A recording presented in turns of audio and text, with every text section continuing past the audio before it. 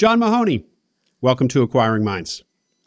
Thanks for having me, Will. Great to be here with you, and uh, you know, thanks for the opportunity to speak with you. And like we spoke about uh, the first time we met, you know, thank you for all you're doing for everybody's in the entrepreneurship through acquisition community. I mean, I'd certainly uh, enjoy listening to your conversations and learn so much and reflect often on uh, you know other people's experiences that I, I heard about through uh, your your show. So thank you so much. I appreciate that, John. Well, I'm excited to add your voice here to the mix. You bought uh, an HVAC business in East Tennessee, Appalachia. And you are not from this region. You are a New England boy uh, from the South Shore of Boston. So we hear about searchers moving anywhere to buy a business, but it's actually not that common from what I've seen. But you are doing it. So we're going to hear about that and much, much more today. But please start us off, John, with some background on you. Yeah, so as you mentioned, I grew up in New England on the South Shore of Boston. Uh, extremely proud of that area. You know, we've talked about uh, all the culture uh, that it brings to the table. Like, uh, you know, people refer to parts of it as the Irish Riviera, and uh, of course, uh, hardcore New England sports fans. And I'm actually heading back there for Thanksgiving, which will be the first time I've visited back home since making the move to Northeast Tennessee.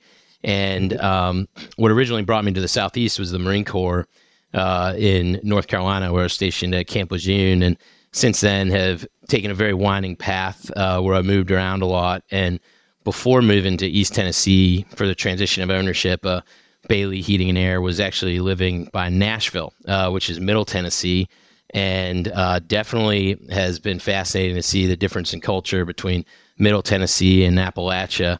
Uh, over here in Greenville and Greene County. So we're about an hour outside of Knoxville uh, on the border of North Carolina. And it's been an amazing experience to move here. Uh, certainly immersed myself in both the business and the culture of the, the local town. I literally live right next door uh, to the office, so uh, no excuse to be late ever since I have no commute. And it's been amazing, uh, you know, both how the company and the community have, uh, you know, brought me into the fold and made me feel so at home and so welcome. And uh, it certainly was an amazing opportunity to partner with Robert and Carla Bailey, who founded Bailey Heating and Air 30 years ago. And, uh, you know, I'm so grateful to them for really uh, adopting me like a son. And, you know, I think of them almost like godparents at this point. And, you know, I'm so grateful that they've come into my life, not just for the, you know, professional reasons, but uh, have, you know, so enjoyed getting to know them and so appreciate them making me uh, feel like part of a family. Uh, and uh, you know, Robert was just in here, and uh, everyone was laughing and joking and having a blast. And that's been one of the best parts about the last year is how we've been able to continue the legacy that him and Carla have built, and you know, keep them extremely happy with how things are progressing as we grow. And um, you know, it's been an amazing uh, couple months. It's hard to believe that it's just been since February 2023 and it was a big milestone to get through the first summer in the heat and air business and now the winter is fast approaching. So uh, you know it'll be amazing Next to trial. look back at one year of uh, being an owner operator. Well john the fact that you have such a good relationship with the sellers is uh, going to be a part of this story. I mean that's i think most searchers the best they hope for is a functioning healthy relationship but godparents is is probably a, a, hope too far. So that that we'll, hear more about that for sure. Um, but circle us back a little bit, John. What roads were you on that led to to to buying a business? What give us a little bit more of your history? It's been a pretty winding path. So you know, joined the Marine Corps in 2007 and spent five years as an infantry officer uh, extraordinarily, you know, proud of, of working with the Marines that I did, and uh, you know, we accomplished a lot as a unit uh, for sure. And making the transition uh, to the civilian world, like many other veterans, wasn't sure exactly what path to take. So uh, I did work in some tech startups for a bit, and while I was there, I realized that I wanted more of a business background uh, from a fundamental standpoint. So decided to pursue an MBA using the GI Bill and that was an amazing uh, experience. You know, to uh, had a great time, met a lot of amazing people, uh, made great friends, as well as you know getting that foundational knowledge that I was looking for. Uh, from Wharton. I ended up at um, McKinsey with a pit stop at one of the most motivating experiences I've ever had, helping build uh, an educational system in Africa, uh, where I was based out of Mauritius. So there was this really interesting couple month period in between graduation and rejoining McKinsey, and that really sparked uh, wanting to be part of a mission driven organization again. Uh, you know, after finding that in the Marine Corps, uh, my time at McKinsey was extremely foundational for what I'm doing now in terms of being able to actually live and breathe uh, what I learned in business school, especially from a strategy point. Uh, and after spending time out of the Charlotte office, I actually, through a serendipitous introduction, ended up helping build a political organization that supported military veterans running for Congress. Uh, so, through the uh, 2018 election cycle, really was proud of what we built there and got some great veterans into office, and uh, especially ones that can work together across the aisle. So, was looking for uh, my next steps and really wanted to go the entrepreneurial path, but wasn't sure what that might look like. But with the uh, pandemic kicking off, started trying to be helpful in any way to the Small Business Administration as they were rolling out the relief packages like the PPP and EIDL. And while I was there, I started to kind of naturally speaking with military veteran business owners, uh, and many of those business owners were Vietnam era vets. Uh, so, of this retiring owner cohort that we hear so much about uh, in the headlines with this generational transition, Vietnam era vets are heavily overrepresented.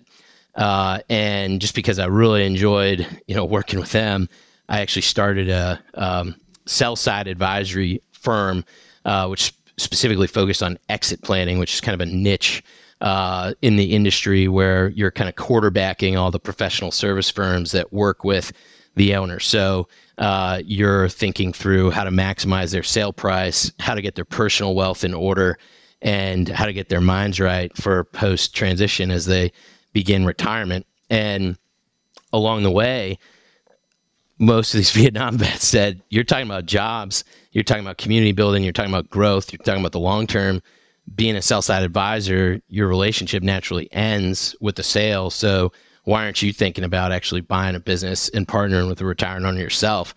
And I really took that to heart, uh, especially because that's exactly what I missed from the Marine Corps and from these purpose driven organizations, building a team, growing something great with a common mission together. So after switching my mindset last summer, uh, I very serendipitously was introduced to Robert and Carla Bailey through kind of a multiple, you know, step connection that was based out of a military background, and we decided. Let, let, John, let me let me stop you there because I want to I want to ask some follow up questions, and then we'll and then we'll pick up right there. So, w- when you worked with the SBA, was was that still under the auspices of McKinsey, or were you independent? No, that was just me as a, a person. Yeah. Were you an employee of the SBA or what?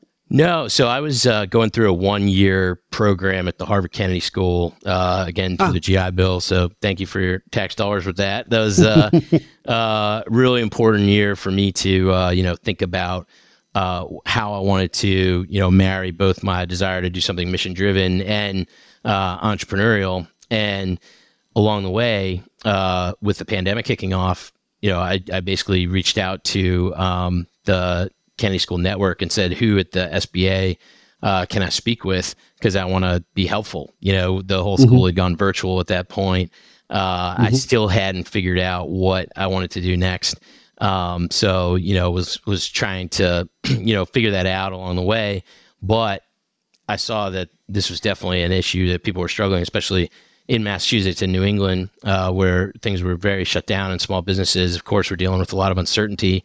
Uh, so, you know, the SBA split up into regional divisions. So through their New England office, uh, was able to, you know, help them uh, hire some of my peers, uh, you know, and, and do some outreach on their behalf. Because, of course, there was a lot of uncertainty around what does it mean to take a loan uh, from the government. You know, a, uh, the taking a loan in general is a pretty, you know, scary proposition for people who have never used uh, lending or financial partners in the past, let alone it coming out uh, very fast in conjunction with a uh, you know national level global level uh, pandemic. So yeah. it's definitely a time of tremendous uncertainty. So it's trying to uh, you know lend a hand uh, at the time, especially you know like you said, being from New England, wanted to help my own uh, hometown and area. And then when you kind of got the notion of exit planning, so I've heard it said that exit planner, being an exit planner, is kind of a another word for sell side broker, or some, or, or there's kind of a lot of a lot of overlap there. Is that is that true? I mean, are exit planners kind of first and foremost uh, brokers, uh, but then they also kind of have more value add on top, or do you see them as two different things? Just help us with the vocabulary. Yeah, there's a, there's a lot of paths to being a uh, exit planner, and there's some certifying bodies in the field. So I myself went the uh, certified exit planning advisor path, uh, which people refer to as a CEPA, um, and uh, you know people take uh, those certification courses and do the professional education from a lot of backgrounds. You know, whether they be a wealth advisor, uh, typical kind of strategy consultant, a broker um, and you know the kind of uh, definitional exit planner is agnostic to kind of what seat you fill in the board of advisors that an owner is looking to you know utilize and partner with as they think about retirement. Uh, you know, I myself was coming at it from more of a uh, consul- operational consultant perspective, and really did see myself as the quarterback of many people that they would partner with. So just like on the buy side, where you know I think of an extended members of my team as the lender, the attorney, uh, the accountant, a well prepared uh, seller will also build that team, um, and you know that's where we see some of these. Um, you know, tragic stories about an owner who built an amazing business but had to exit suddenly uh, because of a death, disaster in the family, disagreement, you know, these many reasons that might cause an immediate exit. Uh, you see all this enterprise that they value that they built up not actually transition to them or their family because they didn't take the time uh, to think through what an exit would look like and have the right partners. I mean, you know, we've heard it so many times about people's opinions of brokers and and all yeah. these other professional services in the lower middle market uh, so, you know, one of the worst case scenarios is where a business owner partners with a broker who's just looking to move inventory uh, and get yeah. that, you know, commission and, you know, isn't really trying to maximize the sale price more so than, you know, just trying to get the sale done. Uh, so finding these partners and then having the time to actually plan how to stabilize the business so that going into a sale, the potential buyers can look at this business and say this will definitely transition past the founder, the owner's retirement. Uh, this is a stable business that we can buy uh, at a price we feel comfortable with uh, and we think is fair. So, you know, the time uh, to actually implement these exit planning strategies uh, is absolutely essential. Um, and you know, it's um, it's definitely an interesting perspective to bring now as a buyer uh, because I've seen the issues that uh, these selling owners have where it's extremely emotional, um, you know, and it requires thinking about the end of this chapter where, you know, I hope very much that many of these retiring owners that, you know, this generation of buyers will partner with will find a kind of second career of advising or volunteering or charity work um, but a lot of people think about it as kind of the end of the road, and now they're gonna you know yeah. sit at home and um, you know not have anything to to uh, compel them every day and, and keep them motivated. So yeah, the exit planning perspective has been really fundamental in me thinking about my partnership here with Robert and Carla, but also you know for um, potential tuck-ins and additional acquisitions and and your larger vision too, uh, which is at work in the background, which we're going to get to. That was great. Thank you for that. Um, so so uh, yeah, I take from that that exit planners and brokers there might be some overlap. Some brokers might be exit planners, but to use those terms interchangeably would be incorrect. An exit planner is supposed to be, as you said, agnostic, really about about kind of the sale of the business, um, or at least when it happens. They're just looking for the best plan to, to devise the best plan. Elaborate for us, John, on the purpose driven, mission driven. Uh, maybe a little bit about your experience in uh, in the military or in Mauritius, um, and what like what you mean by that exactly, and how working in small business is mission driven versus working in some other outlet. Yeah, absolutely. I mean, I think that uh, these businesses, particularly ones that retiring owners have built, are so instrumental to the success of these communities. Uh, so, you know, it's not only the employment of the team, but also providing people a great community to live in. Uh, so, you know, we're thinking about heating and air. Yes, we want to be amazing technically at the heating and air business, but we're actually trying to make people's lives better, not just our employees on our team who we want to have tremendous compensation and benefits but we also want them to go to people's houses who have an amazing experience and are able to live and work in their dream home because they have the perfect heating and air situation for them. So, you know, I think that uh, when we think about the mission here, it's how do we have people live to their full potential and grow personally and professionally and have the stability and type of career that allows them to have an amazing home life.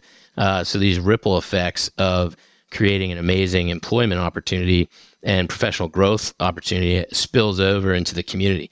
Uh, I think that you know here we talk about um, how we're in Greenville right now and we're growing to Northeast Tennessee, but we want to be the employer of choice because I think everybody wants to be a part of a culture where they feel like they're growing personally and professionally. They're having a great time. They care about their teammates. They're working towards this higher order mission of making people's lives better, uh, as opposed to just thinking about you know the very heads down technical aspect of their job, um, which is fundamental, but not the uh, you know end goal of what we're trying to build here. And you know the Marine Corps, of course, was the the amazing example of that, and you know with um, working with a platoon or a company of Marines who you know, care so much about each other. You know, you often hear uh, that you know it's not about accomplishing foreign policy at the time; it's about taking care of who's on the left and the right of you.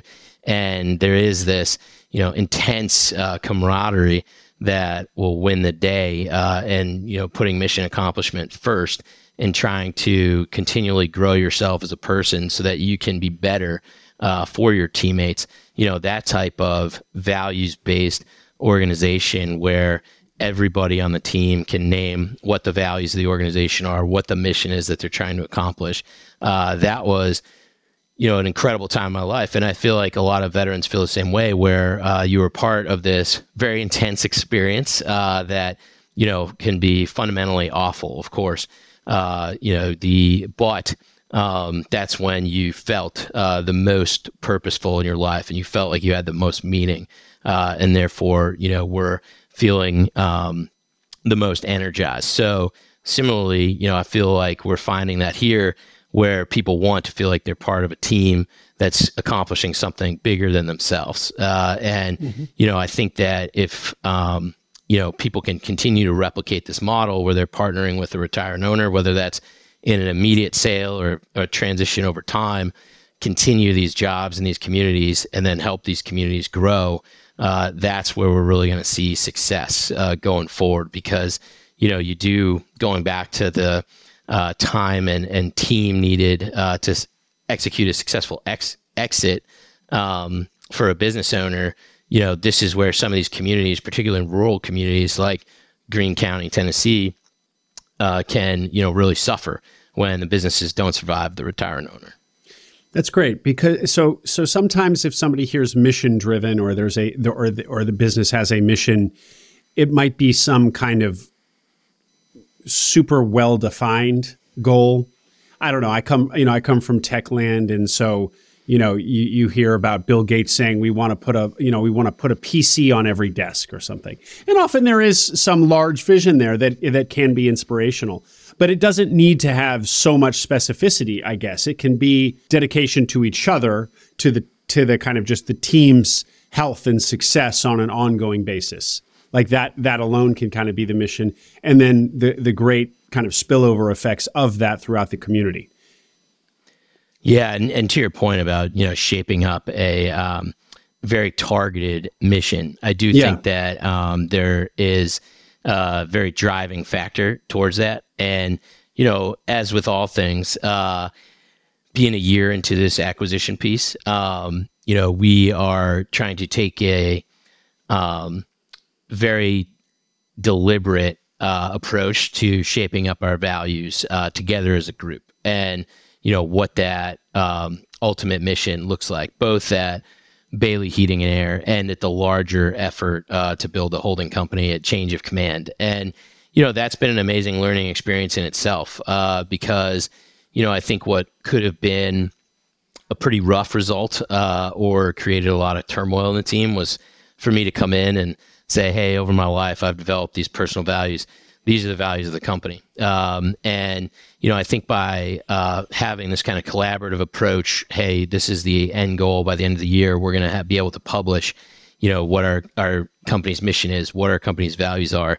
I think that that collaborative approach is almost just as important for the current team as it is uh, to have that written role. So, you know, these conversations are shaping our culture itself, where mm-hmm. a lot of people you know, have never even been asked, hey, why do you come to work? Uh, you know, the kind of assumption is, yeah, you're just coming for a paycheck. But, um, you know, it's been fascinating just from having those conversations alone. You know, I've been trying to meet with everybody on the team one on one each week uh, and having conversations about, well, you know, what's your why? What's what's your mission? And to learn the story behind it. You know, many times it, it's regarding taking care of their family uh, is amazing to get to know people. Thanks, John. Okay, let's return to your story. So you have decided to search, and you um, give us a little bit of a view into your search. You, you, were mentioning that you met Robert and Carla, but but um, were you also doing kind of a kind of a, a formal full time search? What did that look like? Yeah, you know, I'd always um, envisioned taking the uh, change of command name and building a holding company, uh, which is still the goal uh, of a long term holding company. Um, and step one, of course, was to uh, acquire one business uh, on the path there. I'm glad you realized that. That's often the advice of aspiring holdco owners: is buy, buy that first business first, there, buddy. That's right. That's right. I mean, uh, you know, there's definitely uh, huge benefit to planning with the end in mind. Uh, but yeah. um, you yeah. know, as I've been reminded many times over the past year or two, uh, there is a paralysis uh, to trying to you know perfectly tweak the uh, tax structure of what the business might look like 20 years from now, as opposed to uh, getting your first deal done. And, you know, the um, approach that I took was basically the self-funded search model, where uh, you know I didn't take investors ahead of time uh, and was doing outreach directly to owners and through brokers. Um, mm-hmm. The uh, you know, the path through brokers was an interesting one, especially coming from the exit planning model uh, beforehand. And I certainly appreciate both the proprietary outreach and the brokered outreach because at least the brokered outreach, you know, that the sellers have made a concrete step forward uh, to making that sale as opposed to, you know, kind of proposing the idea formally uh, to many of these retiring owners. You know, although I'm sure it's something that these owners think about all the time. Uh, you know, having an actual conversation that starts to shape up around numbers uh, when there's no other advisor in the room is a much different conversation than an owner who has allowed a broker to, you know, shape up the SIM, the confidential information mm-hmm. memorandum, and and actually publicly, you know, even if anonymously list the business. So that was definitely uh, interesting to see that dynamic of people who are ready to sell, uh, you know, or at least had taken steps towards that, and then people who, uh, you know, were having a conversation with you, but uh, there's a lot of education and a lot of trepidation about kind of going forward uh, without that kind of po- more common path with the broker. So you were doing that kind of outreach, and you're doing this from North Carolina. Uh, actually, I was by um, Nashville. So I was, I was uh, you in Nashville now. Okay. Yep. And um, so I was uh, in Nashville and uh, had reached out to a broker who uh, is based here in East Tennessee, and we spoke about a different HVAC company. Uh, and I told him my story and my goal, and he, um, you know, had kind of the traditional interaction with the broker where you, you know, speak about a specific deal, go down the road a bit, and then you know, you let them know that this isn't the right fit for whatever reason. And about a month later, he reached back out to me uh, and said, "Look, I remember your story. Uh, a few years ago, I looked at working with uh, this husband and wife who operate an HVAC company. Um, they have military in the family. Uh, they took their business off the market because they never found a buyer that they felt reflected their values and would treat the team that they wanted going forward. I think from our conversations before, you might be a good fit if you're interested in making the ride out to East Tennessee uh, would you be interested in meeting with them? And I said, yeah, absolutely, of course. Uh, you know, and uh, Tennessee's a very long state, uh, so you know, it's for me. You know, it's like Florida, but on its on its side. yeah, that's exactly it. That's exactly it. And you know, for me, being all in on this, you know, what's a uh, what's a four hour drive? Of course, you know, I'll make that uh, drive all day, every day. And uh, after you know having an initial conversation with them, um, and you know convincing them about you know who I was as a person as a transplant uh, to Tennessee, like many others who moved to the state, and uh, someone with no industry experience, uh, very heavily leaning on the you know Marine Corps leadership uh, and the trust that that brings uh, from being part of the service. I was able to continue the conversation, and we had a pretty standard uh, path through the acquisition process using the SBA 7A program and uh, closed in February of, of this year of 2023 um, after uh, you know making the conscious decision not to close right at Christmas time uh, and to kind of let the holidays shake out uh, and do it when it might be a more stable time for the whole team, which I'm very uh, thankful for that they suggested that. And you know, like many things, um, I am certainly willing to invest the time or, or take uh, our time and consider, um, you know, the long term effects as opposed to rushing into things. Since, you know, I feel like I found exactly what I want to be doing for the rest of my life. Uh, so, you know, trying to hurry and, and acquire a company the week before Christmas and letting the team try and celebrate the holiday, but actually be nervous uh, the whole time that they're trying to spend with the family. Waiting that you know couple weeks uh, was absolutely worth it. Yeah, well, we're going to return also to your kind of long term orientation here, John. But you mentioned the four hour drive. I teased at the top the fact that uh, you, you, know you're from you're from New England and this is this is Appalachia. Were you prepared to just go anywhere? I mean, get, for give people kind of a look into to the the decision to basically move somebody pretty somewhere pretty rural so, were you always open to that? Did you have any misgivings about it, or did you just dive in head first and it was cool, or what? Talk, talk to us about that. Yeah, absolutely. I, have been given some um, contrary advice to what I did, where people say, you know, only buy a company where you want to live, uh, and yeah. you know, without um, knowing about Greene County or Bailey Heating and Air, I had essentially committed to myself that wherever the right professional opportunity agnostic of location I was going to pursue. Uh, so, you know, a lot easier for me to sign off on that decision since I'm a bachelor. Uh, you know, my my family, my extended family are very supportive uh, of me being anywhere in the country. Uh, you know, especially after the Marine Corps experience. You know, it's like, well, at least he's not in Afghanistan. Uh, you know, so the yeah. um, the the uh, beautiful part is that it just so happened that Bailey Heating and Air was run by an amazing founder in an amazing community and in a beautiful part of the world uh, and a beautiful business. So, you know, I'm certainly still technically in the honeymoon period, uh, but I don't think it will ever rub off where, you know, driving around and seeing, um, you know, the, the ridge lines where the Appalachian Trail runs. Uh, it's an incredibly beautiful place. And, you know, it's definitely uh, history has historically has been very rural, but is suburbanizing uh, quickly, mm. and I certainly see the appeal for people moving to the area, uh, which definitely makes for an interesting uh, professional decision since uh, you know we now have much different uh, kind of bifurcated demographics uh, than you know before, where um, you know Greene County was pretty homogenous. Now with many transplants coming in and building you know their dream home, it's definitely an interesting customer base to deal with, but you know, that's exactly what happened to your point about moving was, you know, I was based in Nashville, uh, having a blast there.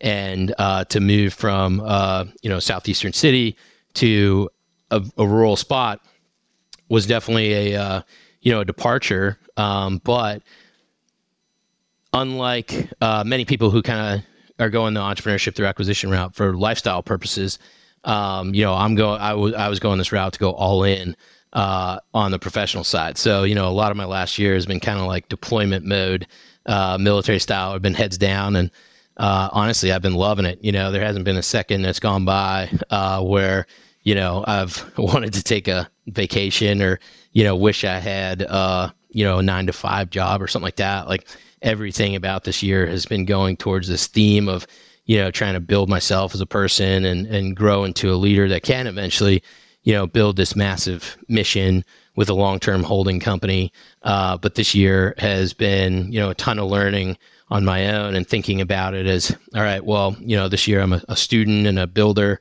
and uh, you know it happens to be in a beautiful place with amazing people so you know whether that was in the middle of a city or or out here you know, I'm just excited that all those parts fell together. Mm-hmm. And so, with your long term, do you anticipate being there forever and ever, or maybe, maybe not, or who knows what the future holds, sort of thing? I think uh, I think it's more in the the last category there. But the uh, you know the nice thing is, for my own personal situation, is that I think that obviously buying one business uh, is you know a huge milestone for anyone the transition between buying one and then two uh, is a really pivotal point. You know, maybe buying the 15th and 16th business, you know, not that uh, big of a deal, but going from one to two locations is a massive uh, endeavor. And, you know, we've certainly been fielding uh, those opportunities, which has been an interesting transition since, uh, you know, a year ago at this point. I was a search searcher who had to explain what I was doing to people to now a nobody. I want to be. I want to be. I want to be. Yeah, absolutely. And now you know it's like, um, people like, oh, this you know, it's a fellow business owner who's in a fellow industry. We should have a conversation as peers. Um, so you know that's led to a lot of opportunities. Um, so you know, essentially, we're looking to grow Bailey here from exclusively heating and air to heating and air electric, which we're actually uh, rolling out right now and in the future plumbing. So, you know, continue to grow this um, business in this area, but are certainly looking for um, other opportunities. And to go back to your question about would I move, uh, you know, I am certainly, uh, you know, looking at some of these opportunities as, okay, well, there's a GM in place or there's a, you know, an operations manager in place and I could run that remotely or do I want to go the same route and I could join that business as the day to day leader um, and kind of do this leapfrog model. Um, yeah. Because, you know, Bailey Heating and Air, that's been the case. But I feel like market wide, that's where the greatest opportunity to build value comes from uh, is, you know, for these owners who need a one for one replacement to come from outside and maybe not have the internal talent to elevate within a management structure. Yeah. Well, that, that's a great segue there, John. So let let's hear about let's hear about Bailey. Bailey's or Bailey? Uh, Bailey singular. Yep. Bailey singular.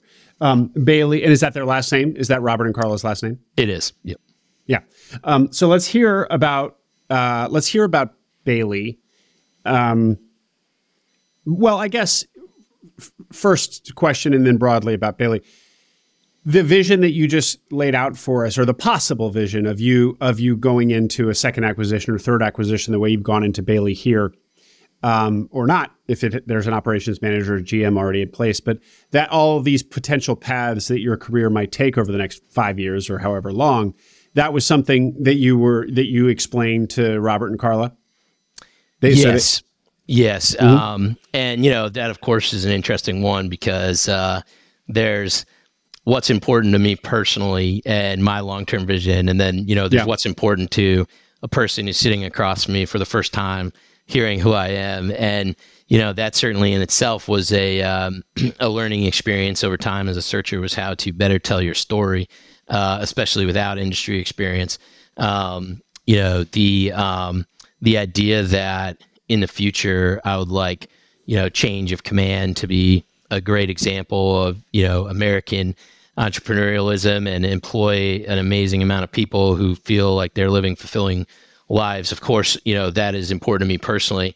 Um, sharing that with Robert Carla off the bat, uh, where they're just like, "How are you not going to collapse this company in the next six months?" yeah. Was Dude, uh, what, what, are you talking about right now? You lost us, sort of thing. Right, right. So there's definitely a, um, you know, a uh, a, a phase um, where you know I was trying to explain the long term vision, but very much put up front and emphasize, which is very true, that I want Bailey uh, to live beyond me. Uh, I want Bailey to be a pillar of this community for the rest of my life and beyond. And so, John, tell us more about Bailey. Tell us kind of the the, the bullet points of size of business, age of business, um, kind of CIM level stuff.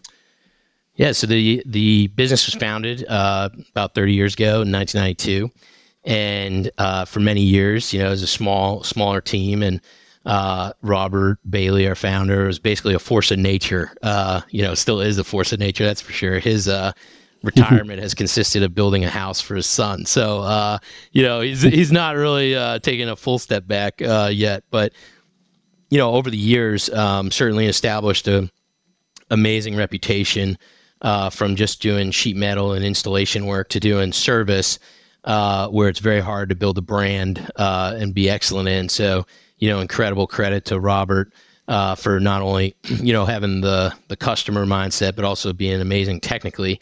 And over the past few years, um, you know, I was reaching kind of the the mid 300s level in earnings, and um, you know, the real growth happened in uh, the last two years, so 2021 and 2022.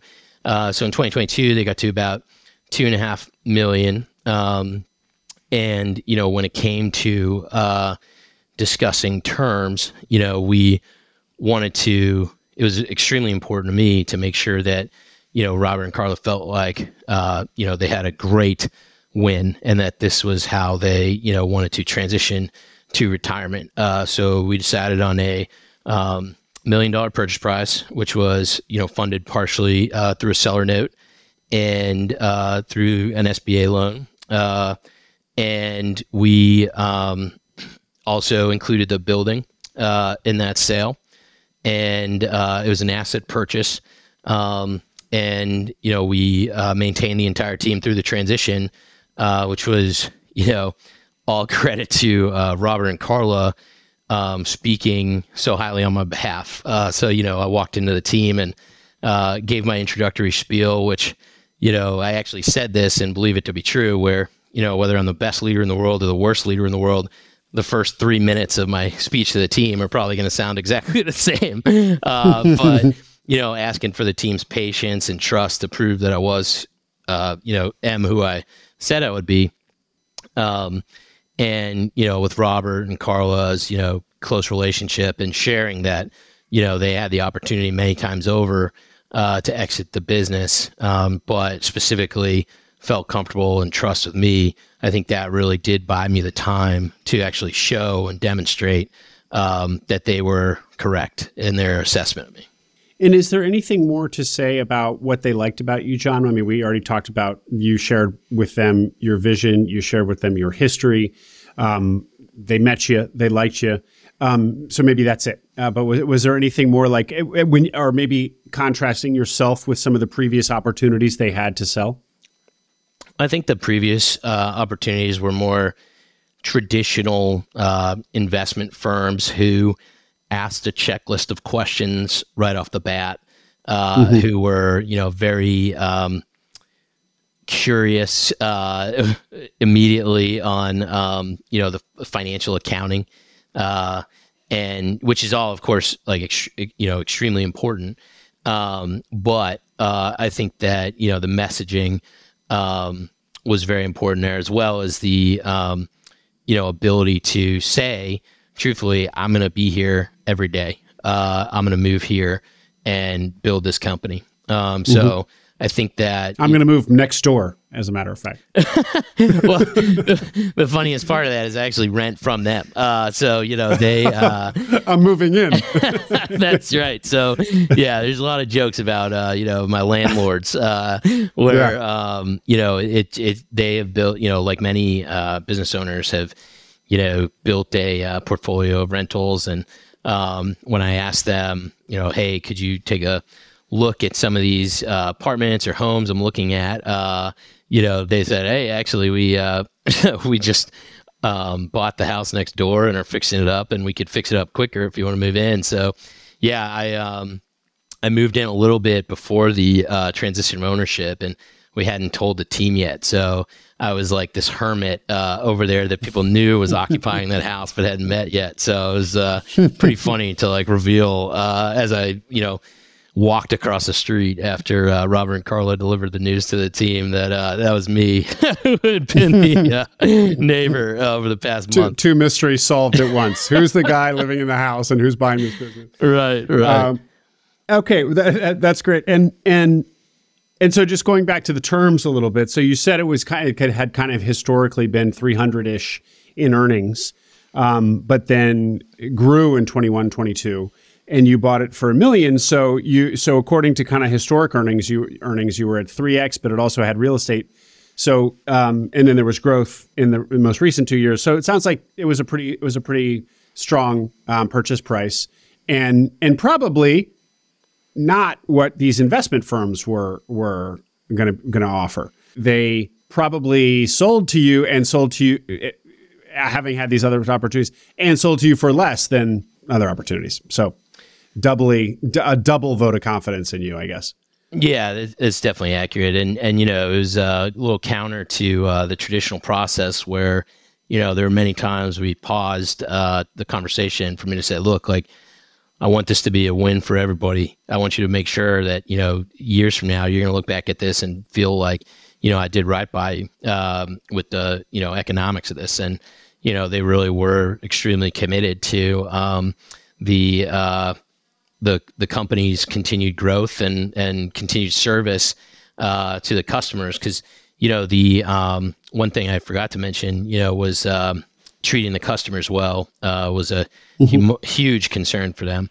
Um, that you know these are not just you know numbers on a spreadsheet, but these are their neighbors, these are their family. Uh, you know, a lot of people on the team, including Robert and Carla, come from very large families. Uh, so you know the last thing you want is uh, for um, a cousin or you know an aunt or uncle uh, to have an issue with the team uh, that isn't continuing this tradition of service and you know, we um, we certainly like think about you know the um, community as a you know part of this transition where they've been amazing at introducing me to uh, you know so many people, civic organizations uh, in the in the community that you know we hope to benefit for the long term. And you know, one um, I mentioned uh, that we're building out our electrical uh, department, but you know, during uh, the conversations with Robert and Carla about transitioning ownership, you know, they uh, stood out to me so well. Where you know you have to have this ice cream in the freezer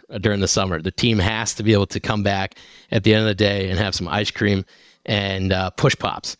And I just said, all right, you know, absolutely, no questions asked. You know, we, we will keep the uh, tradition of ice cream going, and uh, you know, we eat a lot of desserts for sure. And you know, when it comes to building out our electrical department, that's actually how we basically recruited uh, them, where word had gotten out in the community about, you know, what we're trying to build here, uh, how we're integrating technology, how we're hiring people, how we're thinking about the long term. And um, we were actually using a new construction job to train the team on some new new technology, new HVAC systems, and um, I was running out to join the, the meeting and brought popsicles uh, and cold waters because uh, it was cold out.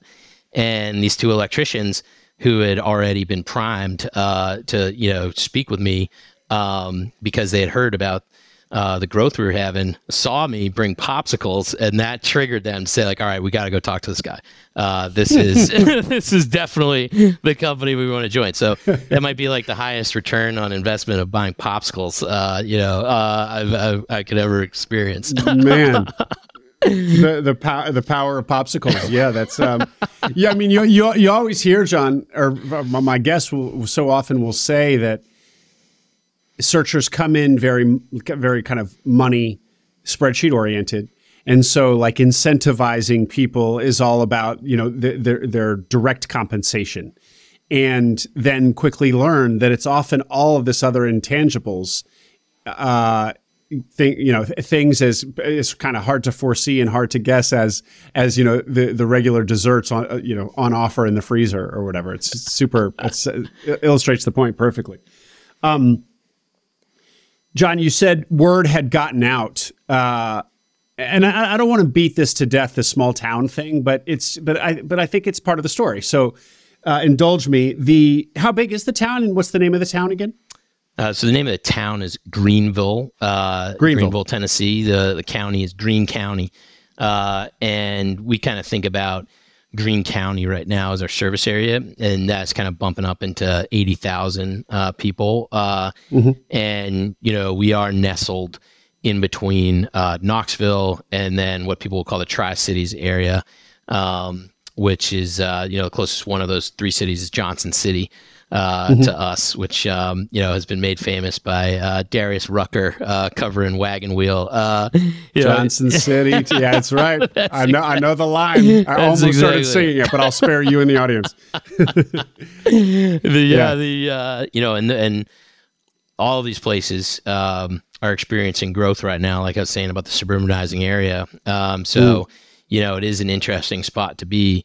Um, and from a strategic perspective, you know, there um, are a few HVAC and trades company here, um, but uh, you know, you don't find um, the kind of nationally PE backed uh, companies that you would find in a big city. So it's been interesting to think about the opportunity here um, as we continue to grow and and roll out, you know, similar best practices, um, but do it from uh, the mindset and the approach that we're taking um, and do it you know here in the community that doesn't have those larger companies. But the downside of course of that is the the skilled trade labor pool um, that you know you might be able to find a lot more of even though there's a national shortage in the larger cities. So you know we need to really think about our strategy of growth with how do we recruit and retain uh, the best skilled trades men and women that we can find, uh, particularly because um, you know in these areas uh, they are in short supply. So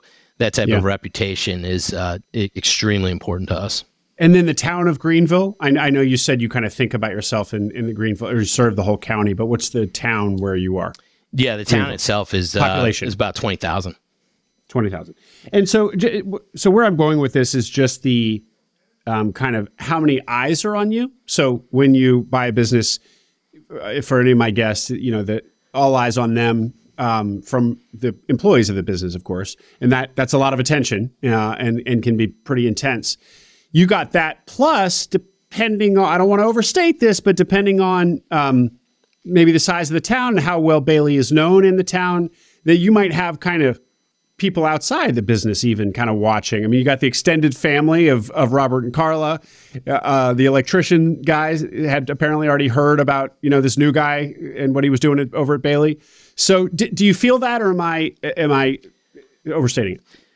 No, I think that's perfectly stated. Um, it's been a, um, definitely a wild experience to, you know, meet a lot of people for the first time and have them say, oh, I've heard about you. You know, this is um, an amazing opportunity for you, but just make sure you don't break what you know. Don't don't try and fix what's not broken. And you know, there's don't like screw uh, it up. Welcome, yeah. but don't screw it up. absolutely, absolutely. And you know, it's um, it definitely is uh, a visible physical location. We're at kind of this T intersection. Um, that is in between uh, schools and the downtown. So we get a lot of traffic uh, going by, which was an interesting consideration. You know, when it came to um, the purchase price, you know, don't eh, haven't spent a lot of marketing because you know fourteen thousand people drive by a day. Uh, you know the yeah. um, the uh, but the funny thing is one of the reasons why I mentioned the property, um, and one of the reasons why you know partnership with uh, Robert's been so great is you know after he transitioned ownership, he said, "All right, well, I'll finally have some time to fix our sign." Uh, so one of the first things he did, you know, after transitioning ownership was like spend a day on a ladder, you know, cleaning the sign, putting fresh bulbs in there, resetting the timer. Uh, so it's things like that where, um, you know, I'll meet someone for the first time and they'll say like, "Oh yeah, I remember when I saw the sign light up again and I was all excited." uh, you know, because I'd heard about you, so I was glad to see that the sign was lit at night. And um, you know, more recently, we've kind of gotten a lot of uh, encouraging words about. Hey, I saw the new vehicles outside; they look great. You know, that's exciting. Um, so yeah, it's it's it's interesting because um, on a personal level, you know, as a leader in a company, uh, I know that everybody's watching and everything I do uh, will be scrutinized for sure. Um, so there's no, uh, you know, skating past, um, you know, what happens if I show up one day with my hair, you know, not combed. Uh, I'll get ribbed about it, you know. Uh, so there's no detail that gets missed, uh, you know, as a leader. And then as a company, you know, to your point, we are very visible. So it's, um, you know, important uh, that we keep appearances um, so that, you know, when you think no one's watching, they're actually looking at you closely. So upholding that standard is very important. And, you know that's that's definitely been an interesting uh, conversation with a lot of um, searchers who uh, don't come from a military background because you know in my military experience um, you know everybody's looking at the leader and everyone's gonna you know crack jokes and and rib you uh, about like the smallest of things um, but honestly, I see that as a huge positive. You know, I was nervous until people started chirping me here. You know, it's like that's how you know people like you is if they, you know, give you crack a joke uh, at you. And you know, I I remember like the day that it happened because you know it'd been a few days and uh, you know we're still a little tense with the new guy and everything else. And then you know someone gave me a hard time about not having a great shave uh, and i was like all right i'm good. We're good. Oh man, that's such a good kind of lesson in leadership because maybe if you haven't had a military experience, like you, you, you don't realize that that's a sign of uh, a tentative sign of affection or acceptance as opposed to hostility. uh, that's great. Um, okay, I want to well, I, I, do want to get a little bit more detail on what you've done. You've mentioned that it's 16 people up from nine, the expanding to electric and stuff. Um, but it, eh, so we'll, that's my next question. But then I also just want to spend some time on HVAC kind of broadly and stepping into an HVAC business where you don't have the technical background because HVAC is such a kind of high profile category for searchers. So we'll we'll do that next. So you mentioned the that Robert fixed the sign, got new vehicles, new hires, expanding into electric. Just tell us a little bit about um, about, but also that you were pretty tentative and didn't want to break anything, so that you and, and you were doing kind of, you know, your listening campaign and just and kind of waiting. You weren't getting in there and you know trying to change everything. Um, but it sounds like changes have happened now. What nine, ten months later. So anyway, talk to talk to us about um, what what you how the business looks different today. Yeah, so you know, one of the um, amazing things to me is is seeing how Robert built this business just as a incredible force of nature. Uh, so when it came to processes, uh, especially written processes, you know, the business didn't um, have those in place, uh, or kind of like a formal meeting cadence uh, to kind of communicate. Um, you know, each day and on a regular uh, schedule um, to work towards, you know, a goal that everyone was aware of. So, um, at a fundamental level, that's what we're working on most uh, after this transition and stabilization period, um, where it was most important to me to just absorb and learn uh, what was going on. So, you know, change management has certainly been a theme of this year, where uh, you know we could bring the most rigorous processes in the world uh, to bear here. But if the adoption level is zero percent, then what's the difference? Uh, so you know we're trying to um, kind of bite off uh, projects that we know we can succeed at and move forward. And you know probably the largest um, example of that was integrating software for the first time. So uh, the entire business was run off of pen and paper, and uh, towards the end of the summer, after you know a lot of um, input from the team and a lot of discussions, we actually formally made the leap into uh, Service Titan. Uh, so we're now running the entire business off of Service Titan, uh, which has been incredible, uh, especially from a long-term uh, perspective. Uh, you know, where we actually have you know clean data for the first time and can make strategic decisions based off of the numbers that we're seeing.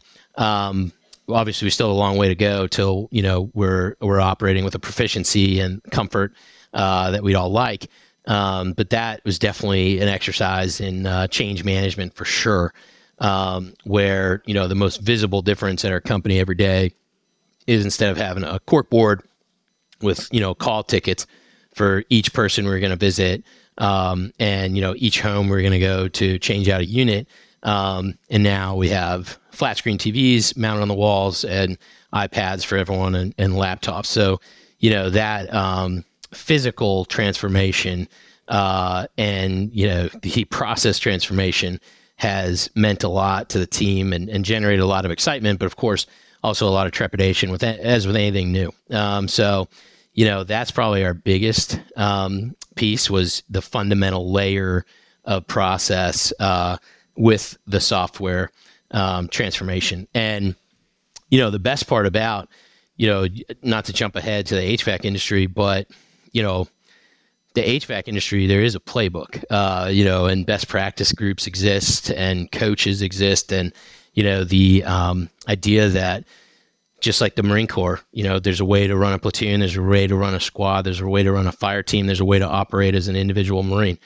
Uh, those exist out there. So now that we're, um, you know, starting to implement that, I think that we're really positioning ourselves for massive growth uh, in the future. So we already have grown as we're laying that foundation, but it's very important to me going back to the time horizon that we really build uh, that foundation. Um, you know, so with February being the year anniversary, you know, I think about if I had been part of a traditional fund uh, or fund structure, and you know, I'm already 20% of my way through, uh, you know, my time before trying to exit. Um, so you know, that might not be the right uh, pace if that was the case, but I really do feel like you know the greatest accomplishment that we can come out of with 2024, going into 2024, is having the foundation laid um, and having this stability uh, through a very turbulent period. Um, you know, for anybody to go through, uh, new boss, you know, new new person uh, writing your checks and you know shaping your you know professional trajectory at a company. So I think that um, you know the idea that uh, we have the tools in place, but more importantly, uh, the strategic um, goals in place and the mindset that you know we're going to continue to set goals and drive towards them uh, will be the the greatest accomplishments for this year at Bailey. And and it also sounds like you're going to kind of codify a mission here in the next six months, and and, make that explicit. Absolutely, absolutely. Which yeah. I think will um, you know not only serve to you know grow our internal company um, and people, but also continue to serve as a um, as a, a beacon um, for you know people who do want that type of professional environment. Uh, so I'm really excited uh, about that as a recruitment tool as well. And and John, but the the meeting cadences that didn't exist and and the SOPs that didn't exist. So are you still kind of holding back on those so as not to do too much too soon, or are those also in process or done? We're we're layering them in. Uh, so you know the um, the kind of culture that intentionally excluded meetings before was very strong. So we're trying to, uh, you know, ease into that. Um, you know, I um, am very. You just got to offer free popsicles. Everybody can have a popsicle if you come to the meeting. I mean, Done. food food is definitely a part of our culture. Uh, you know, yeah. we we uh, a lot of people have had birthdays recently. So, uh, you know, the uh, holidays are already detrimental to anyone's diet plan, but, uh, you know, having cake uh, all the time too. But, you know, the, and, and that's part of it, right? Is like, you know, and why we're easing into it. Because if we say, hey, we want to have a meeting every Friday as a team, and then the first one they have is is boring and terrible, then that sets a t- awful precedent, and people aren't going to mm-hmm. be excited. So that's one of the reasons for us to move slow, is because, you know, we need to make sure that we're actually making these meetings useful, purposeful, uh, and motivating towards growth. Um, and you know, as with all things this year, um, you know, you hear the phrase "it's uh, you know simple but not easy." You know, there's mm. about a list of a thousand simple things that you know you could do. Um, so, how are you going to rank order those and pick the highest order one? Is one of the you know the biggest challenges that I've been facing um, you know, is that uh, of the many tasks you could pick, how do you select which one's going to have the highest impact and you know you can get right as opposed to you know having to rework or go through all this change management process and then scrap uh, after that big buildup. So you know it's um, it's been amazing to like you know work with um, other owners as well. So co-owner of the business um, is a fellow military veteran who uh, runs a plumbing business in New Jersey and a HVAC company in New Hampshire. So you know, uh, it's been amazing to have you know a larger uh, team as well um, to build this because um, you know a huge part of the progress this year um, is having people like Rich Jordan, uh, who's the Marine vet I just mentioned, you know, to hold me accountable. Uh, you know, it's uh, the idea that I have coaches and I have mentors and you know, I would never want to let Robert or Carla down and have these external pressures to continue to push the pace uh, has been amazing um, because I think that that when people talk about you know the lonely path as a searcher, the lonely path as a business owner, um, I have been extraordinarily fortunate uh, to not feel lonely in this path because I have a lot of people supporting me, especially uh, on the um, you know emotional side of these these changes, which are difficult to navigate. That is great, but you should also take some credit for that because I think there's something about you that in your kind of openness to this in your you know community orientation that that wants to make wants gets people to want to help you. So um, so that's great. And, and, Rich Jordan, of course. Uh, so when you say co-owner, Rich is an investor in this in this with you. Um, it, kind of interesting to hear you characterize him as co-owner. Um, is that is there anything more to say there? is investor just as good a term? Yeah, I mean, I think that um, investor is accurate. Uh, you know, the um, the other co-owner who's an investor uh, who's been a guest on your show is John Hubbard. Uh, John Hubbard twice. Recently, he came on his update episode, and he's the one who connected us. Absolutely, the man, legend. the legend, John Hubbard. that is the the man, the legend is the best way to describe him. And you know the um, the path of a self-funded searcher is interesting because you know technically I could have gone alone um, in the acquisition from a financial perspective um, mm. But you know, with the larger mission in mind, and knowing that knowing the value that I see in coaching and camaraderie, um, I you know wanted uh, Rich and John to come on in a big way, and you know that's paid. Or it's it's been so amazing to have people who have blazed this path before, um, you know, especially from a mentorship perspective, from a friendship perspective, um, and you know, when it comes to uh, investor versus owner, you know, neither of them are involved um, in the day to day basis. But uh, you know, the best way I could describe it um, in the in the military, uh, there's a term called QRF, Quick Reaction Force.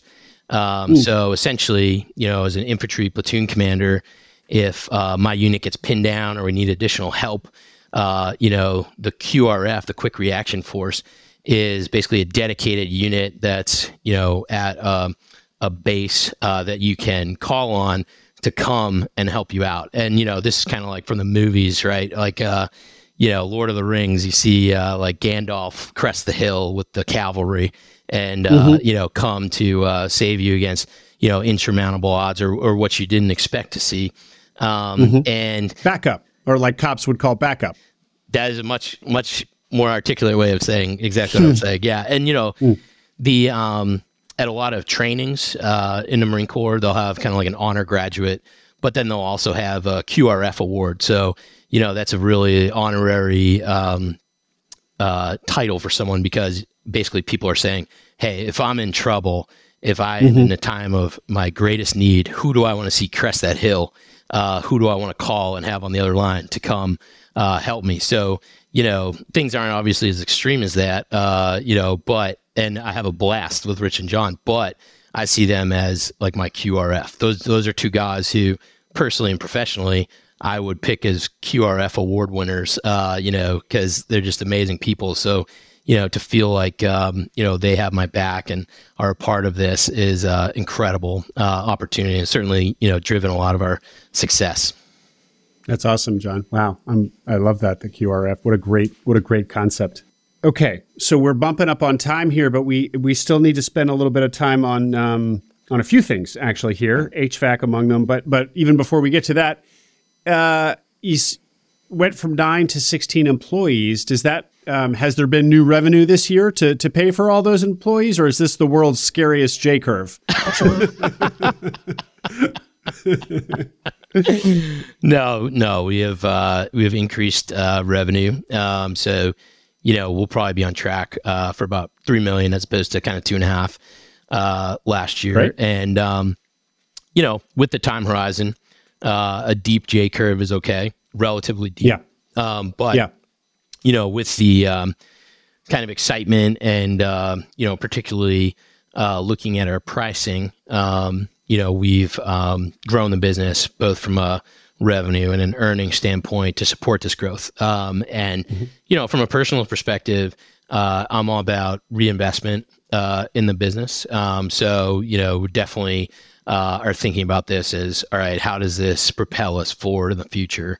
Um, and you know, the um, the HVAC industry certainly can be cyclical. Uh, you know, I made the mistake um, a few months ago saying that um, HVAC is weather dependent, and I was quickly corrected by another owner to say it's weather enhanced. So we're in a weather enhanced industry, um, but there are are cycles to it for sure. So you know, part of this strategy of bringing on additional trades that uh, are more, um, you know, steady, uh, regardless of what the weather is, like plumbing and like electrical, is part of that, uh, so that we can support the company as a whole as we continue uh, to, you know, make bets on great people uh, having an outsized impact on the company uh, and growing us going forward. Yeah, and to be clear, HVAC is cyclical because a lot of revenue comes when people replace their whole systems. So there are these big spends, whereas plumbing and electrical, you don't have that as much. So consumer spending on that is more kind of it's it's less lumpy. It's more just kind of consistent year to year to year to year, and it kind of smooths out that those ups and downs of HVAC. Explain, tell us about the cyclicality of HVAC. Yeah, and you know this has been a fascinating um, part of my last year uh, is to learn more about this industry that I'm new to, uh, especially because of the nuances um, of this cyclicality, both within a calendar year and over the long term. Uh, so, you know, recently uh, I was sitting down with a gentleman who's 83 years old, has been in the HVAC industry for 50 years. Uh, and you know, one of the first things he told me is like, "I've lived through six recessions, so you know, this isn't a uh, a new a new occurrence," uh, which is you know comforting uh, that um, you know over the course of your career you'll see the highs and lows, and with a long term perspective, you know that's okay um, because you're not trying to time the market. But you know, within within an HVAC company, people will talk about um, service uh, quite a bit, um, and that is a lot of times because it's operationally very intensive. Uh, so you have the customers calling, you need to get out there right away. But the reason you get out there right away is to drive the opportunity to change out their system. Uh, so in actuality, you know, a best practice for uh, residential HVAC would be about 30% of revenue is service. We're actually going out and you're fixing things, and 70% is from changing out these systems. Um, so you know, people change out their systems when they break. Uh, you know, very, very, very few people proactively say, "Hey, it's been a few years, I should get a new system." So you have these high points of the summer when people are, you know, having the air conditioners on, and then the winter, um, particularly after you crest or you know go below a certain degree. So you know, the first day it was 95 out was the busiest day you know we've had, um, and this year is a great year uh, to you know kind of cut my teeth. Where um, you know there's about people say in the mid South here, uh, you know that there was about twenty percent less cooling days uh, this summer. So you know essentially we had a very mild start to the summer. Then August was um, very hot. So you know, from a company that's still working towards our marketing campaigns, our membership agreements, things that would smooth out these curves, our revenue, you know, you can see exactly tied to the weather where May, June, July are pretty shallow. Then August is a huge spike, uh, and it will be the same thing in the winter. Um, so that's kind of the cyclicality within a calendar year. The cyclicality within you know a century, um, it seems like is about a 15 year cycle. So you know definitely differences in technology and everything else, but if a homeowner is thinking about replacing their system, maybe it's you know eight years in one place 20 years in another so you know, salt, snow, you know, whatever the differences might be, but generally 15 year cycles. And where we're heading is an interesting time to, uh, you know, really uh, start refining our company and grow because 15 years ago for us was the recession. So if you look at the equipment that was bought over the last few decades, you're going to see this massive dip. Um, you know, that is the bottom of the natural cycle uh, in 2008 um, because, you know, people weren't spending money on pretty major home improvements like air conditioning. So 2008, fast forward 15 years later to 2023, there's very few of these systems that are naturally going to age out. Uh, now, layer on top of the, that the fact that 2021 and 2022, HVAC companies had a ton of success because homeowners were at home, very cognizant of whether their heating and air conditioner was uh, performing well or not. So they actually replaced early. So basically, for 2023, 2024, 2025, they moved forward what we naturally would have expected to change out in these years, and that got stacked onto the revenue of 2021 and 2022. So, um, you know, long story short, uh, 20, you know, 36, 2037, 2038 is going to look pretty amazing. So I'm like very excited to be uh, in the HVAC business for the long haul uh, when people who bought a ton of systems in 2021 and 2022 uh, need to get their systems changed out, you know, 10 to 20 years from now. So, first of all, is this being talked about a lot in HVAC land among HVAC owners that there's this kind of severe softening of a demand for HVAC services coming or already here? Because it's news to me. Yeah, and I mean, of course, you know, there's a strong chance I could be incorrect on all this, uh, but you know, the mm. um, I, have definitely uh, had conversation with other owners in this region um, about you know the coming years, about kind of the um, you know the rapid pace of 21 and 22, where you know everyone was busy every day of the year um, because you mm. know this high revenue time. Um, I think that um, you know when it comes to kind of like people who are in the industry, uh, it's definitely on people's minds uh, for sure, and it definitely did not trickle down to me. Uh, you know, as a searcher looking at HVAC, you know, evaluating uh, this company going forward, but um, you know, it definitely is. Um, you know, no one wants to be in a recession, but I think that as we articulate our mission, articulate our values, build a great culture, build these processes, you know, this uh, next few years, which may be tough for the industry, uh, will be you know, a great test of our ability to recruit and retain people and grow through this, um, you know, especially with a loyal customer base, um, and then accelerate once, you know, things uh, start going on an upward trajectory again. So, you know, uh, if I was trying to sell the company next year or two years from now, would not be uh, great news. But I think that, you know, this is kind of one of those um,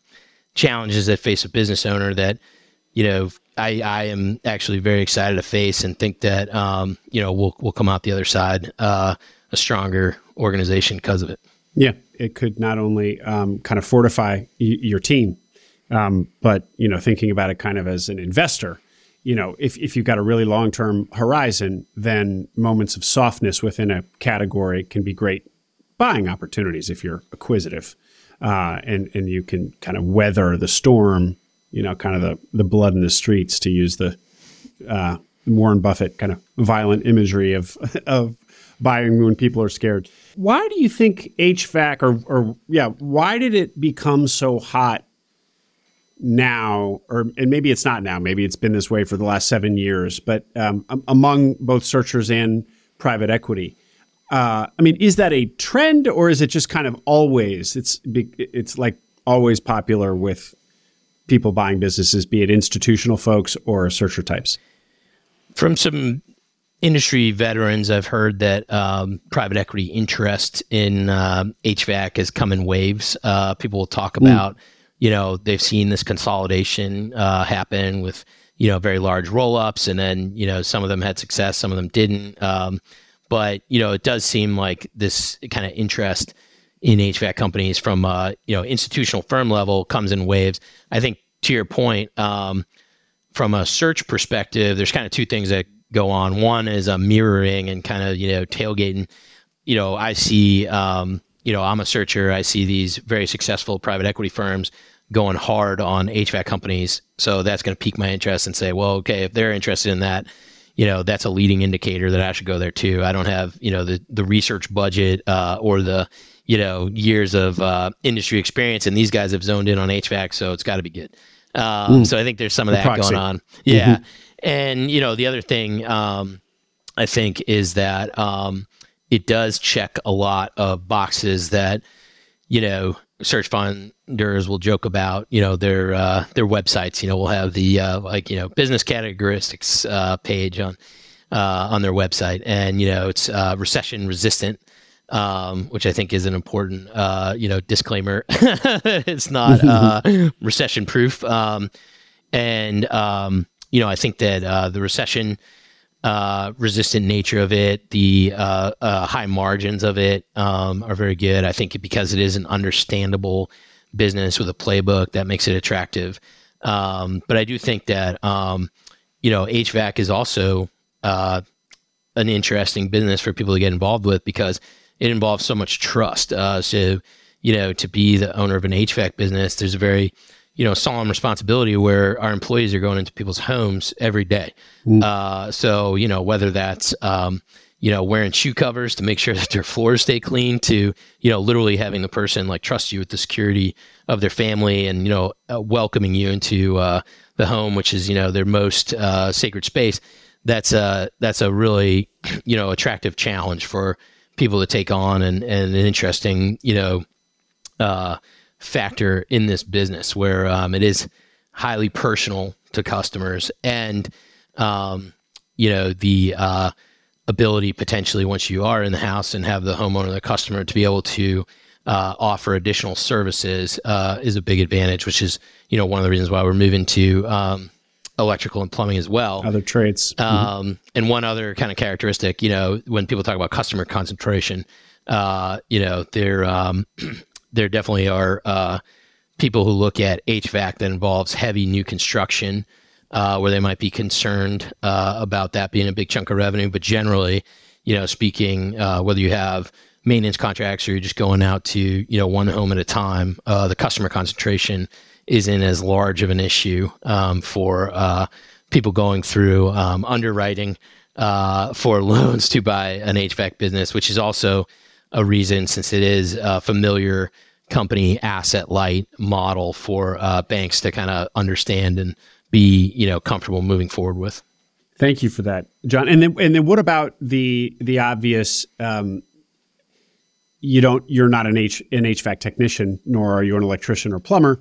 So how do you how how are you approaching this in your own life in terms of the the your your knowledge deficit there, and um, how much, if any, you're going to try to kind of hit the books? Yeah, I mean, you know, going back to like thinking of myself as a student over the past year, that's definitely been uh, a factor layered on to just kind of the foundational business owner business fundamentals is uh, you know this is actually work that I'm not familiar with uh, or proficient in. Yeah. So yeah. Um, you know I've looked at that as actually a um, a culture building opportunity as well, where you know I think that uh, our team gets a big kick out of when you know I try and make regular ride-alongs with everybody and uh, you know learn from them. And literally my role during those ride-alongs is to hand people their tools or run back to the van to grab them some wire you know? So i uh, i certainly am not bringing any technical expertise but it's something that i've been fascinated by um, and have definitely been picking up a lot just from you know speaking with our team and being on the job sites. And you know the um, the conversation of the kind of the economics of the acquisition uh, with the long term perspective, you know, there's always a conversation among people who are going the search fund route of, well, don't buy too small, don't buy too small. Um, since I have the long term perspective, I actually intentionally went, uh, you know, into the the fire, so to speak, where you know I knew I was going to be in the business. You know, people talk about on the business versus in the business. I'm I'm in the business. You know, I'm I, over the course of the last couple months, I've made every mistake you read about in business books about you know doing the the five dollar work, ten dollar work for sure. Um, but I feel like that's very important uh, in this formative experience to over the long term grow as a business owner because now going forward, I know what it's like to go up into an attic in 100 plus degrees in a you know August uh, afternoon in Tennessee, and I know what it's like. Um, you know, to have to uh, carry equipment around somebody's house and up over a hedge, uh, you know, to set their air conditioning unit. And you know, I think that one, it's great team building uh, with the team where they see me sweating and getting dirty as well. And two, you know, with future uh, owners to partner with, there's a lot of credibility there um, where you know I have um, been living and breathing this business as opposed to just a more um, financial buyer. So, you know, with the um, expansion into other trades, there's no way I'm ever going to become an expert in all these trades, but it is important that I feel I can communicate competently to our team and to our customers, you know, the value that we're bringing. Uh, so, you know, my um, role I see as a uh, ecosystem builder so that these technical experts can thrive uh, and also a problem solver for them so that they can actually focus on the technical piece of the business. So, you know, uh, thinking about myself as a problem solver uh, has certainly, um, you know, made this past year a lot easier uh, because that kind of mindset of, you know, my job isn't to go out and replace a blower motor. My job is to think about everyone can surface their problems up through the organization and I'm the one who wants to collaboratively work on the toughest problem. So, uh, from my own curiosity perspective, there's a lot I want to learn about HVAC from a technical perspective. Uh, but I know that you know as soon as I reach a level of like conversational competency, to use like a you know language analogy, um, I need to you know be spending the bulk of my time on these kind of like strategic uh, problems. And has your team also understood that because because you're filling the shoes of somebody who himself was a uh, was a technician, and if you say a force, of, keep calling him a, a, force of nature, I assume he was probably the best technician on the team. Um, so so has your team understood that? Hey, I'm here to, you know, m- my technical ability is making this business the best it can be. Not knowing HVAC, are are people? Do, does that resonate with people? I think it has resonated. I mean, I think that um, you know the uh, communication of that has been integral to reinforce that over and over and over again. Um, you know, this is a hard work. You know, so it's easy to uh, potentially get frustrated. But if um, you know that deep respect for these technical experts is consistently and clearly communicated, um, and then actually showing, hey, you know, last week we sat down we all, you know, ate together and we surfaced these five problems. These are the five problems that I'm focused on right now. This is how I'm addressing them. We've solved, you know, these other problems, like showing concrete uh, movement forward. Um, mm-hmm. I think has been, you know, really where we made strides in that relationship. But you know, everyone's excited about the growth aspect. Everyone's, you know, better compensation, better life, uh, you know, style, um, and painting that picture of, hey, if I'm the best, if I become the best technical expert, that's not going to happen. Uh, so this like division of labor, you know, where um, we come together as a team, and then the technical experts focus on being a technical experts. Then I go talk to a benefits company about what you know healthcare package we're going to select. Like that is the best use of time, and mm-hmm. um, that's definitely been a, a, change. And you know, the theme of uh, to the point of rolling out meetings for the first time. Uh, we talked about you know what the theme of our fourth quarter would be.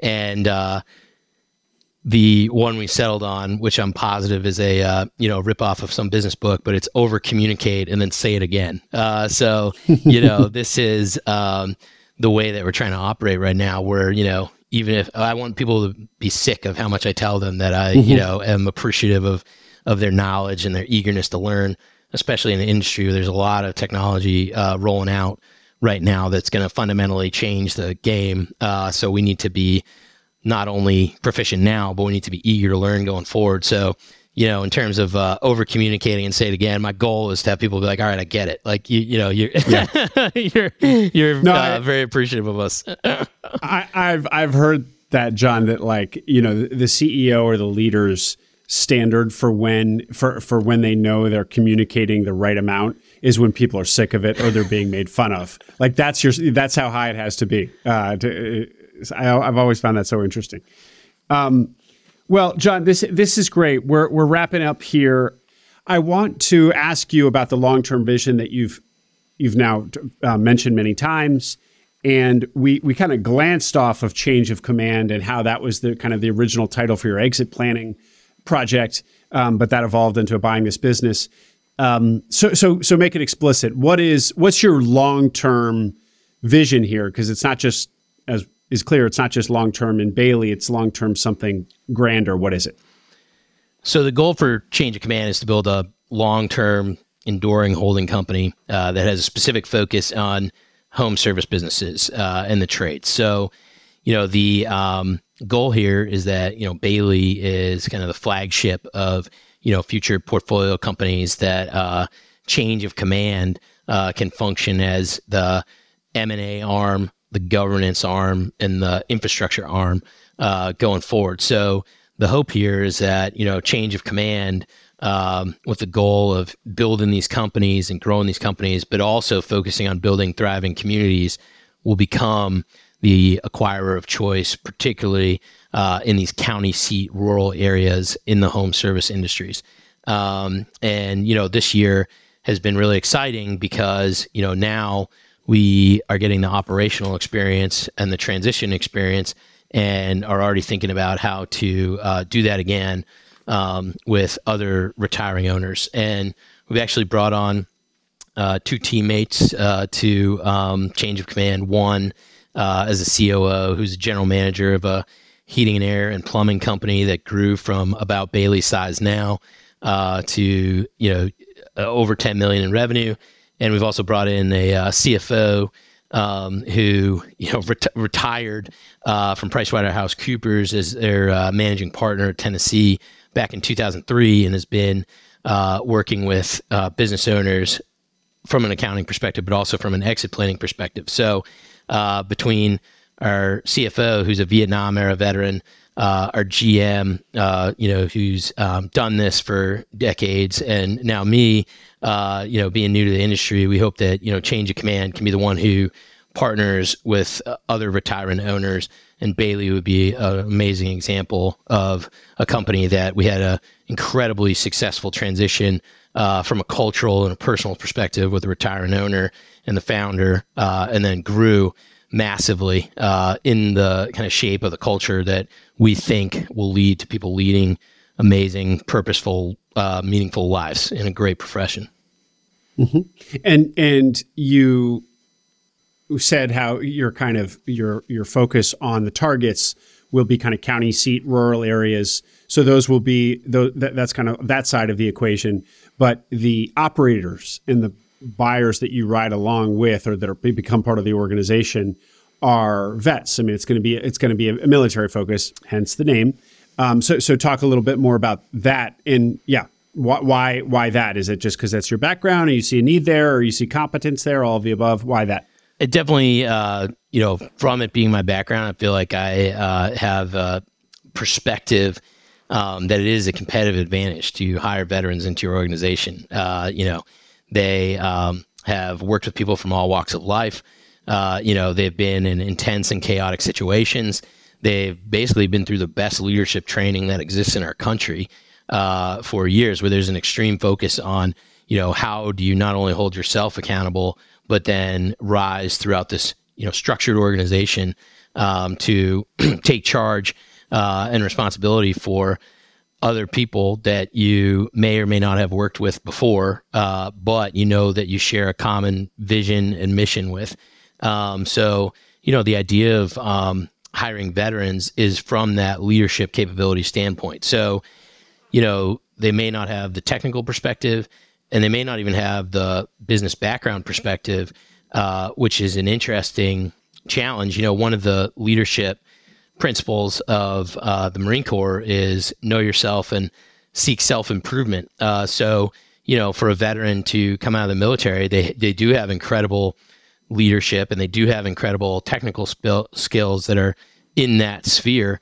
Uh, but now it's time to think about okay, well, how do you read a profit and loss statement? How do you think about the financial aspect of it? And how do you think about not only leading and motivating your team, from a values based perspective, but also now from a compensation perspective, which was not uh, part of the equation before the military. And, you know, that um, mindset was a little daunting at first, uh, you know, coming out of uh, the Marine Corps is, you know, this is going to be like learning a new language when it comes to finance. This is going to be, you know, uh, a challenge I haven't faced before with compensation. But I th- actually think it's incredibly exciting one because in the Marine Corps, you wanted to compensate your top performers better. You wanted to provide a better quality of life for your team. And now you can actually do it. Um, and so, you know, it's just another tool mm-hmm. uh, that you have. So the fundamentals of the leadership piece that veterans bring remains the same as their time in the military, but now there's more tools available to them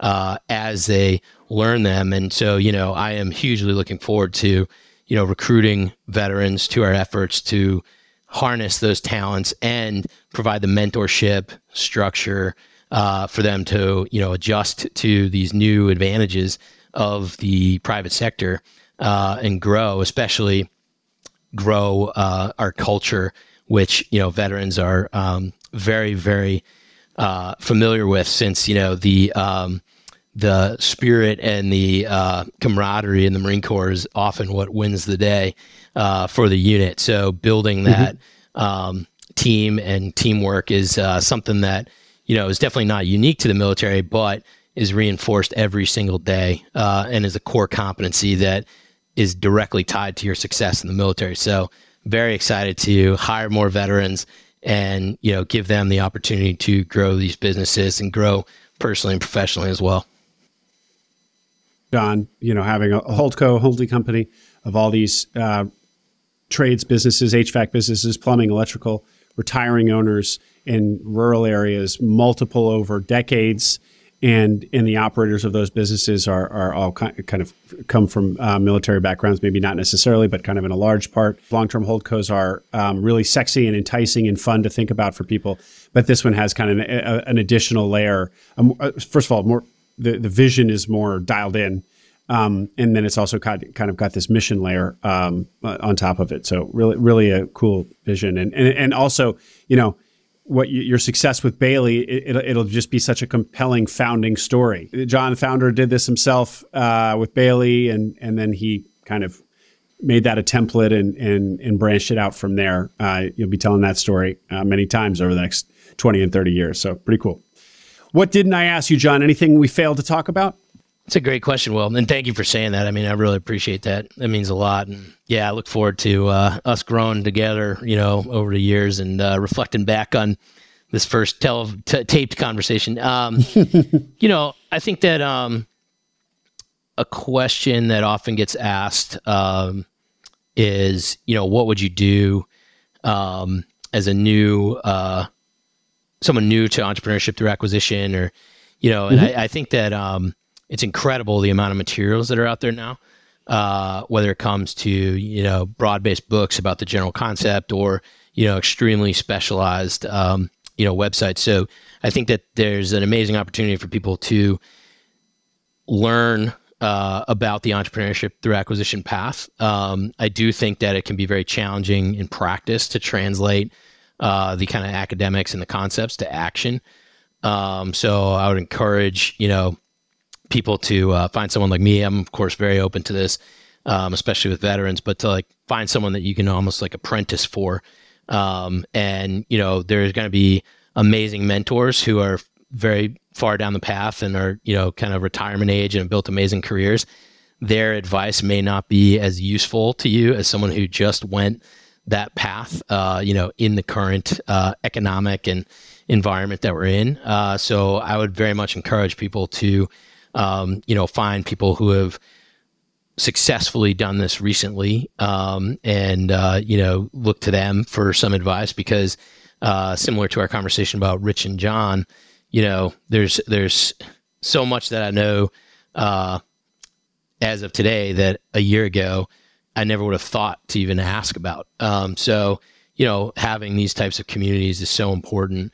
Uh, having groups of peers that you can talk to, whether it's about uh, you know, hard finance questions, or just say, "Hey, I had a really rough day, uh, and it's bizarre because you know I'm I'm just looking at CIMs today. So like, how do I tell my wife who you know just worked a you know 12 hour nursing shift that I had a hard day when you know I'm just mm. looking for mm-hmm. a business to buy. So that was a a very long winded way of saying, um, you know, if you're going this path of entrepreneurship through acquisition, uh, especially as a veteran uh, I think it's an incredible path um, for a lot of people.